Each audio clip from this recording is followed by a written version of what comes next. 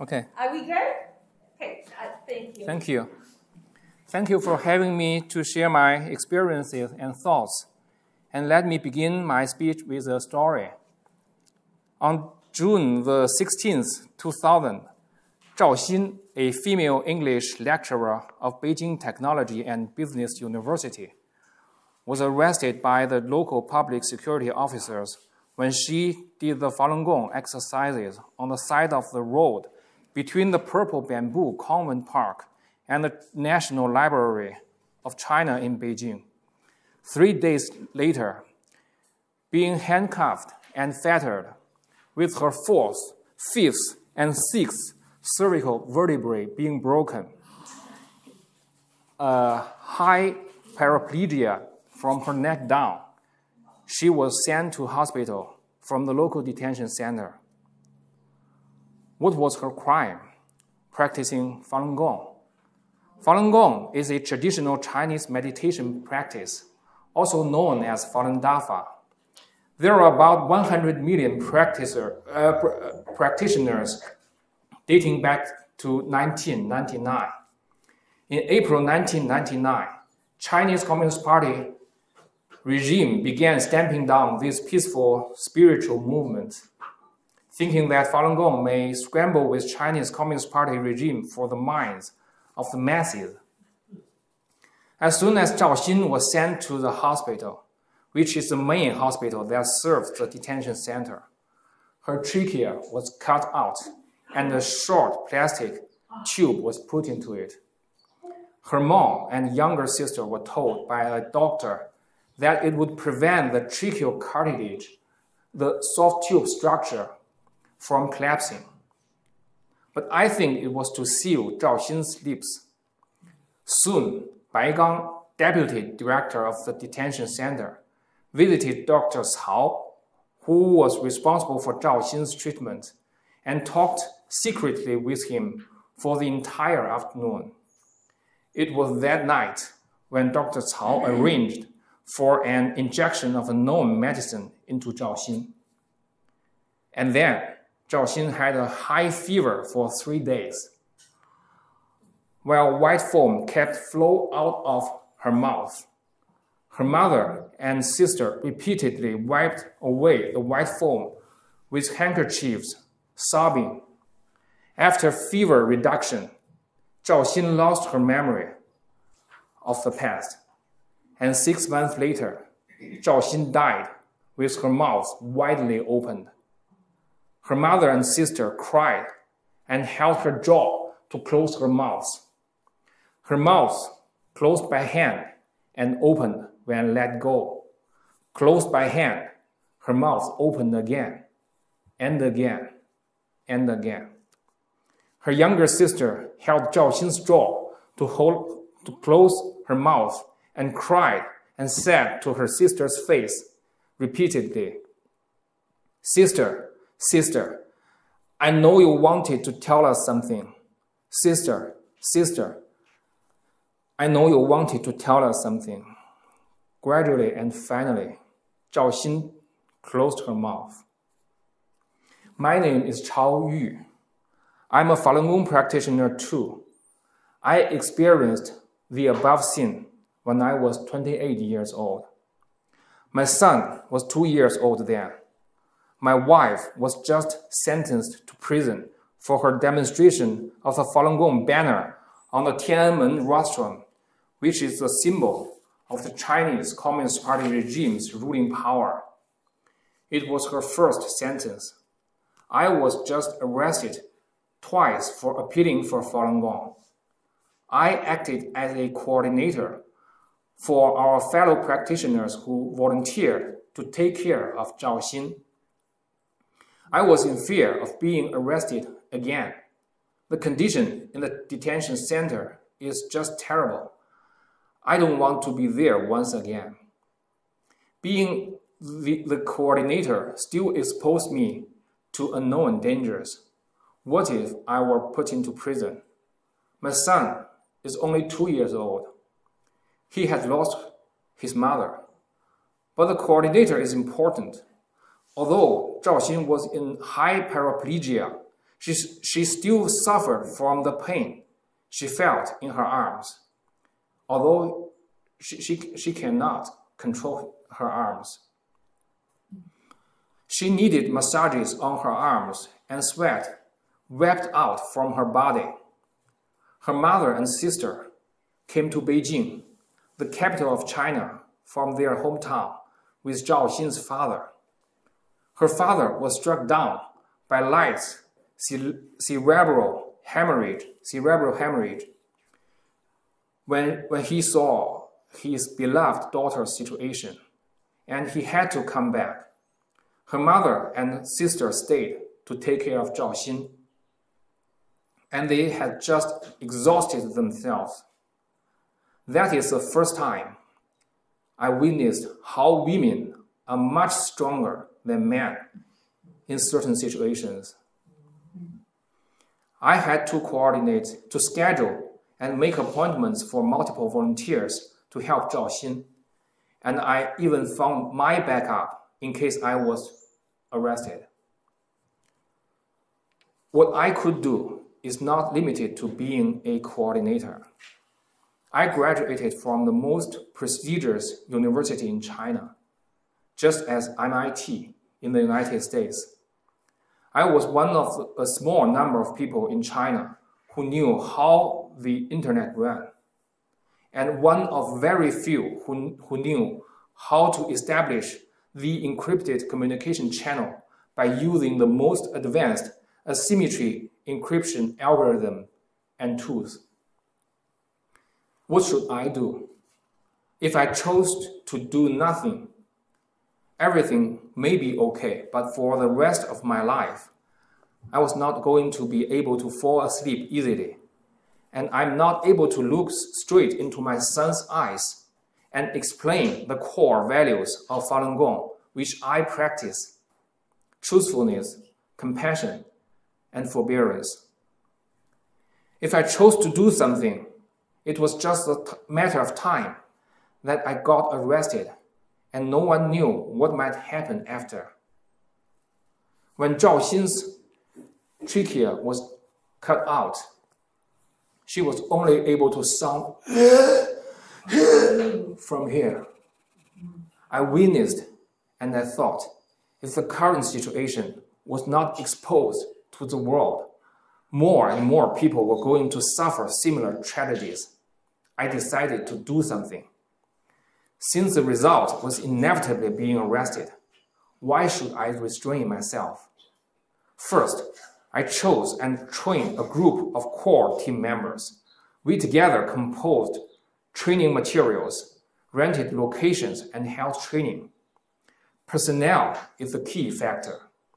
The Chinese Communist Party regime eradicates ideas different from theirs by erasing the physical existence of the carrier of the ideas. So ensuring the expertise spreads faster than the arrests is important. From June 2000 to August 2002, on the list of the most uh, on the list of those most wanted in China, I helped establishing encrypted communication channel between China and Western world, leading Western journalists to interview those victims tortured, raped, or robbed by Chinese Communist Party regime and or family members of those being killed.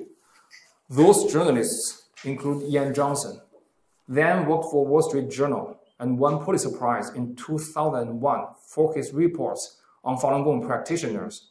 Now he works for New York Times. Charles Hutzler then worked for Associated Press.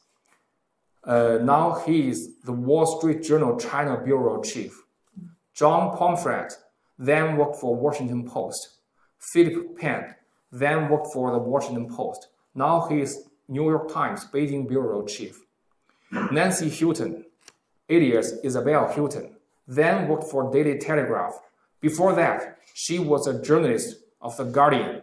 She was appointed officer of the Order of the British, British Empire in 2009. Now she is a founder and editor of ChinaDialogue.net. and journalists from New York Times, Times Magazine, APTV, APTV, and the name is now APTN, and provided information to other journalists from BBC and AFP through telephone. My job includes transferring charity money to persons needing it, including these victims' family members, training technicians of encrypted communication in China, establishing publishing center for producing Falun Gong flyers, and transferring information of the suppression on Falun Gong on the internet. In August 2002, I was arrested with my team members, including my wife, my schoolmates, and my colleagues. I was sentenced to prison for nine years, actually stayed in prison for nine and a half years. My wife, combining twice imprisonment, nearly 11 years. The total imprisonment of my team members sums up to more than 50 years. In May 2013, I came to the United States and seek uh, asylum with my family and the United States government granted green cards to us. We are, we are now applying for our citizenships.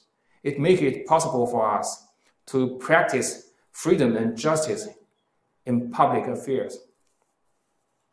When I came to the United States, I found the United States is facing, is facing the crisis that the media elites, political elites, financial elites, industries elites, educational system at least, betray the fundamental values of the United States, and they benefit themselves at the cost of American people. Let's talk about media. Falun Gong is a religious group enduring the most severe persecution by Chinese Communist Party for the past 21 years. In China, some brave lawyers defend Falun Gong practitioners in the court, and thereafter they would face the same degree of persecution as Falun Gong practitioners. In the article published in December the 12th, 2014, Voice of America, VOA, reported the persecution of a lawyer defending a Falun Gong practic practitioner who was referred to as a criminal defendant, while VOA clearly know he or she is a prisoner of conscience. Exposing the lawyer to posture VOA's position to defend the practice of rule of law while concealing the information of Falun Gong to synchronize with the propaganda department of Chinese Communist Party regime, which hopes Falun Gong is mentioned as seldom as possible so the atrocities of Chinese Communist Party regime's persecution could be concealed. VOA is a accomplice of Chinese Communist Party regime. VOA is not alone. June 30th, 2016, Time Warner Cable removed New Tang Dynasty signal, which had been airing on channel 1414 for 10 years on Time Warner Cable in New York. The Chinese channel, based on New York, broadcasts programs criticizing the ruling Chinese Communist Party. Because of its non-corrupted reporting, the channel has gained huge popularity among Chinese citizens who wanted to know what is really happening, happening in China. Apart from NTD, Time Warner Cable also airs 16 other Chinese channels, but all of them have his or have this or that relationship with Chinese Communist Party regime. Besides VOA and Time Warner, almost all top news agencies have compromised their fundamental responsibility to convey truth to the American people. In the current pandemic, we all know that it, it is extremely important for us to be able to hear truth, especially the real information about China. To control people's information is to control whether they live or die. When we're talking about media, we have to mention Google, Facebook, and Twitter. They are the huge hubs of information. Media is one facet of the functions of these big techs. They play a much worse role than, tradi- than the traditional news agencies by suppressing the conservative voices such as PragerU, Ben Shapiro, Jordan Peterson, while synchronizing with the propaganda from Chinese Communist Party regime. Speaking of Google, what I'm going to draw your attention to is that the big, big techs such as Google, IBM, Cisco, Microsoft, and many other top American big techs helped Chinese Communist Party regime stamp down Chinese people domestically and acquire the advantage over the, the United States. Google developed a censored version of search engine for Chinese Communist Party regime by code name Dragonfly, which means the red dragon Chinese Communist Party regime will fly one day. Just after Google's AI Center, Artificial Intelligence Center, was launched, was launched in China in June the 1st, 2018. Six months later, Google has decided not to renew its contract of artificial intelligence project Maven through March 2019 for Department of Defense program. And in October 2018, Google dropped out of the running of JEDI, the massive Defense Department com, uh, cloud computing contract, potentially worth 10 billion US dollar. Even you give me 10 billion US dollar, I will not serve you because you are the Department of Defense of America.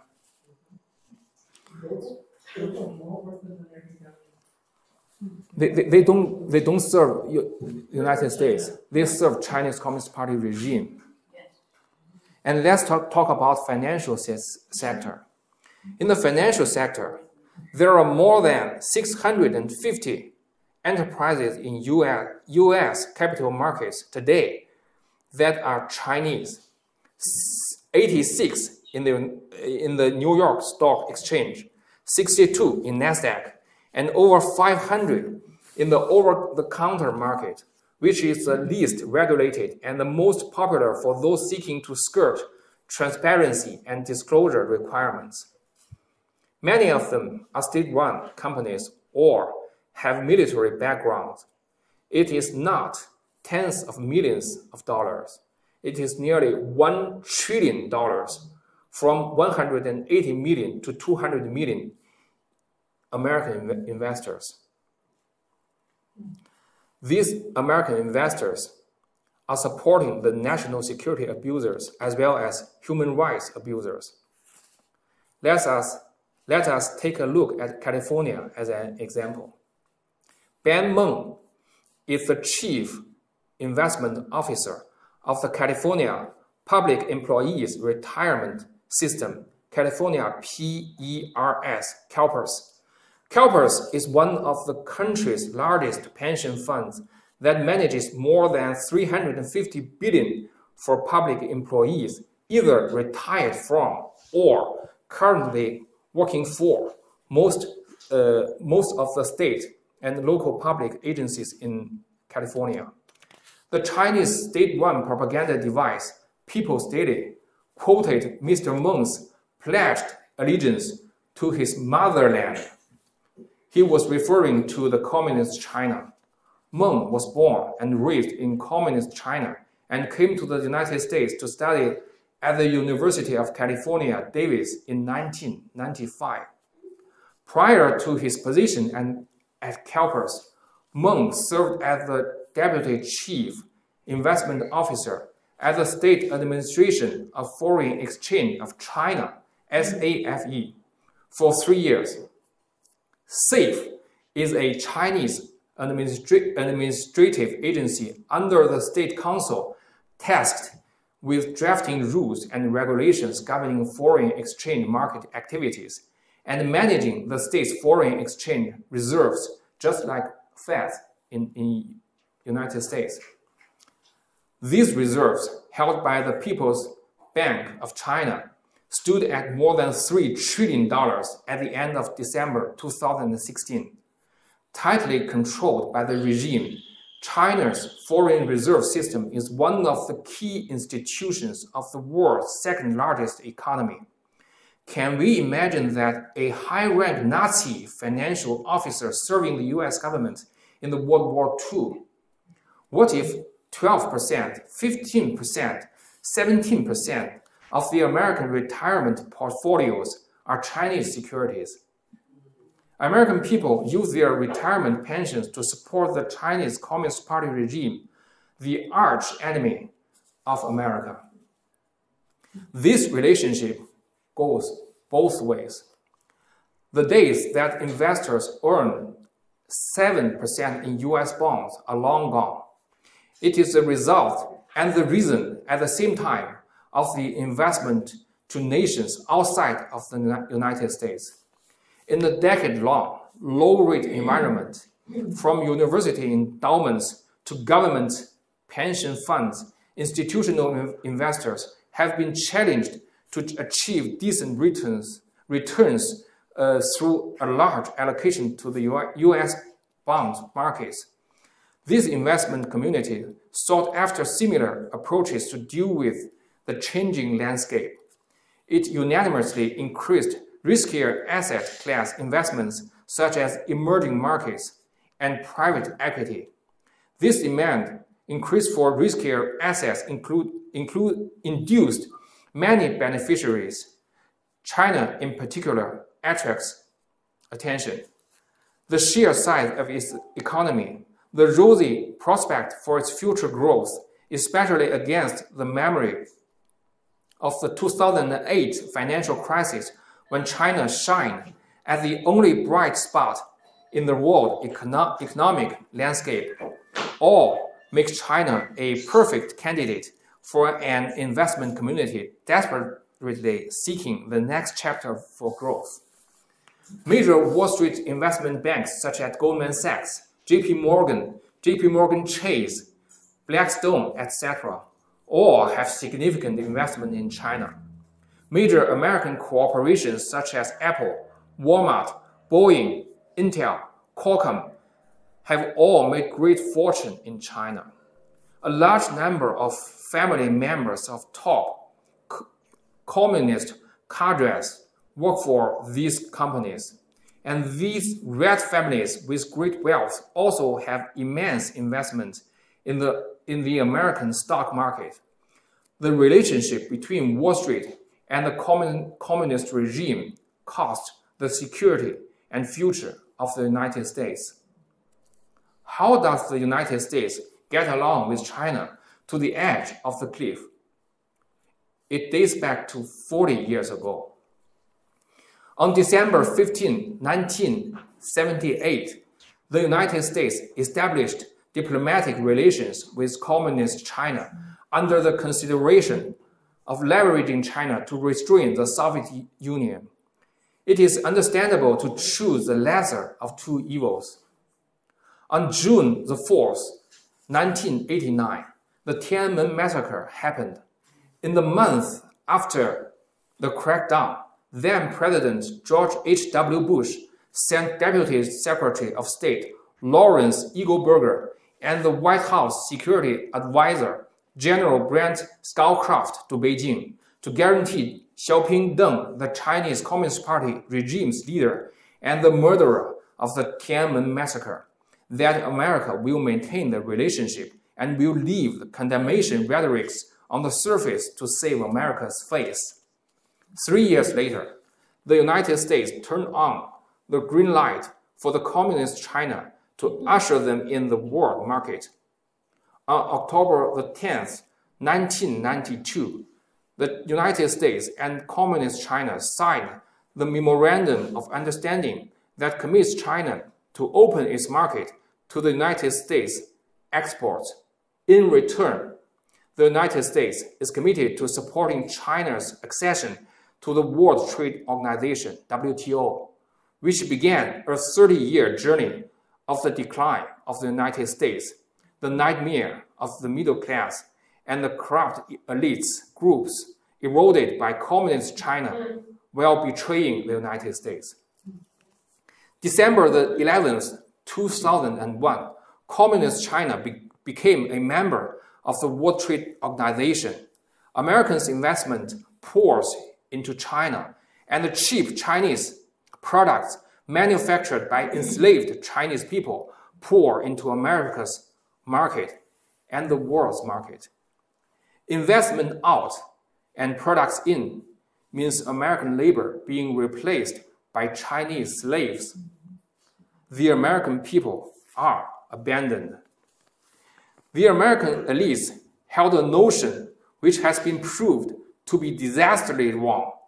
Helping communist China achieve economic prosperity, the middle class in China will grow, will grow, and the transition of the political institution will happen naturally.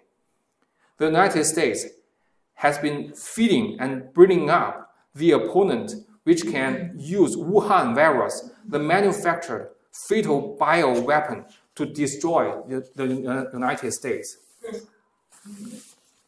The essence of this story is that one cannot partner with a regime ideologically against God. You cannot transact with a regime of thugs and criminals who treats the enslaved people as animals.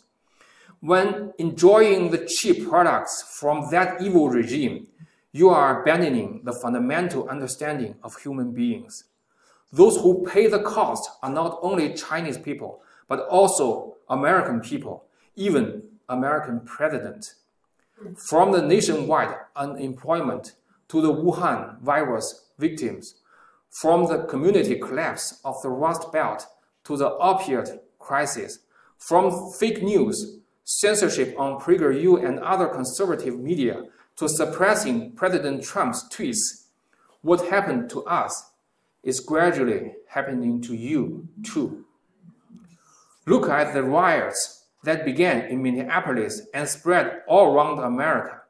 It is American version of the Cultural Revolution which happened in China in, in the 1960s. Riots spreading all around the United States with variants of communism ideology targets to the election of November. Five days ago, in June 15th, the United States has been hit by large-scale DDoS attack, distributed, distributed denial of service attack. T-Mobile, Fortnite, Instagram, Comcast, and Chase Bank have all experienced outages.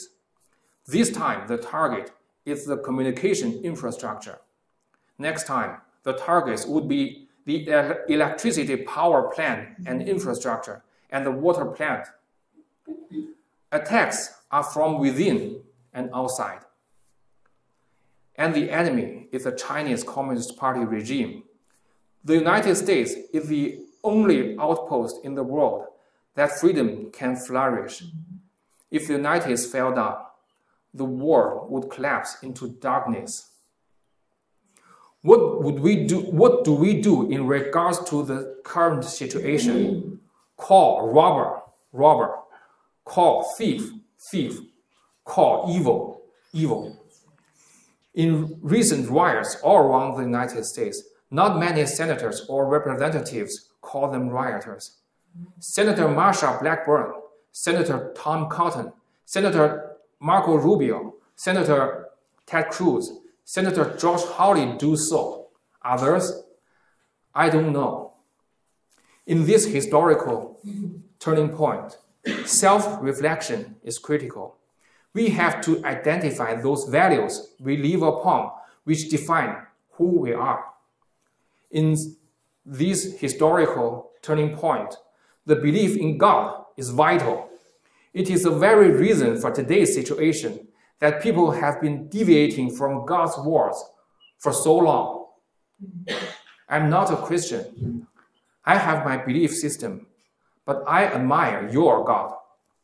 I know without the nation and the institutions based on the Greco Roman culture and Judeo Christian belief, people were devouring each other, which, which is going to happen or even is happening if we do not take right actions. I came to the United States because I defended the dignity of human beings. I would like to fight with you side by side for our common future. I would like to fight with you side by side for God. Thank you.